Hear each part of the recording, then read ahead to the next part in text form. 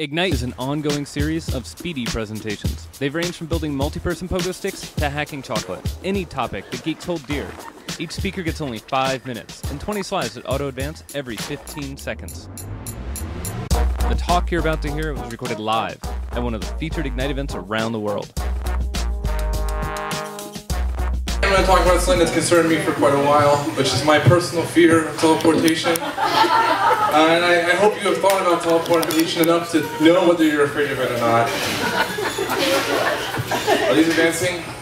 This is like 15. Yeah, but you should be. You should be very afraid of teleportation.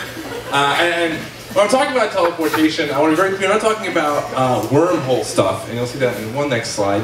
I'm talking about the kind of teleportation that dissolves you and makes you on the other end, right? So this person is all dissolved, and then you're all built back, all fine on this side, right? This is this is safe. Do that. If you see a wormhole, jump through it. It's cool. That is a little spooky. So, uh, you know, because the real question about why it's spooky is like, well, who is that dude? I mean, he is just like me on the other end of that teleporter, but it's not me. I'm dead. All right? I don't care how you want to phrase it or make it seem. I have been evaporated on the other side. This guy thinks he's me, but he's not. So uh, I've thought about this a long time, actually, and there's really there's two ways that this cannot fundamentally scare you. And, uh, and yeah, really, I put people into these two groups when I think about how could this be the case. So the one is that you're just a soulless, emotionless automaton, right? There's nothing inside. You're not scared you're like, whatever.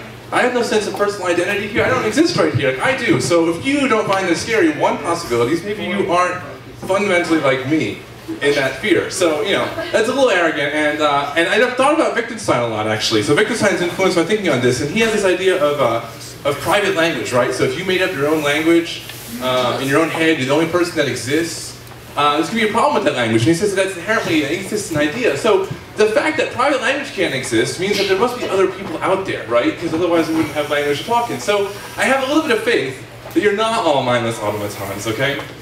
So uh, that's good. So you're probably real. so then I thought, oh, my favorite books, I can't even pronounce this, but it's the, the now I'm gonna try. Um, but it's this great classic in, Buddhism, right? And this guy is brilliant. Uh, he, you know, if you're familiar with the idea of emptiness in Buddhism, right?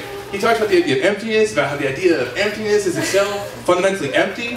Um, and I thought, like, okay, so you know, that's true, then like self is empty, right? That's like the big Buddhist like you win Buddhism when you get that. And so if self is empty, then it's not really all that scary to step into a teleporter. You can feel like, oh, this is great, it doesn't really matter. So two things have happened to me recently uh, that have, have really changed my opinion on teleportation and, and my nervousness about it.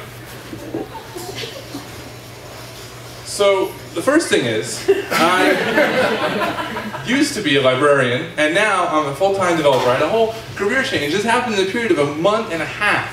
A month and a half ago, I said, I want a new career. Uh, I mean, there's some background before this, but whatever. Um, I was like, I'm gonna become a, a programmer full-time, and no longer be a librarian get rid of all my librarian friends, and I did it. And it, it's like a total change. So that's like, I felt like, wow. And like I first working, I looked back and there's this old me. And I'm like, who's that guy? Like I'm doing something so different now. Um, and that was like a huge shift. And when I was going through this process, it was a lot of work because like, you know, things are going on. And this quote really drove me. So this is T.S. Eliot. I love T.S. Eliot. It says, in order to arrive at what you are not, you must go through the way in which you are not, right? So that's sort of, sort of losing yourself, right? So you see, let's see where this goes. So then something even bigger happened to me. Uh, in October, I had my first son.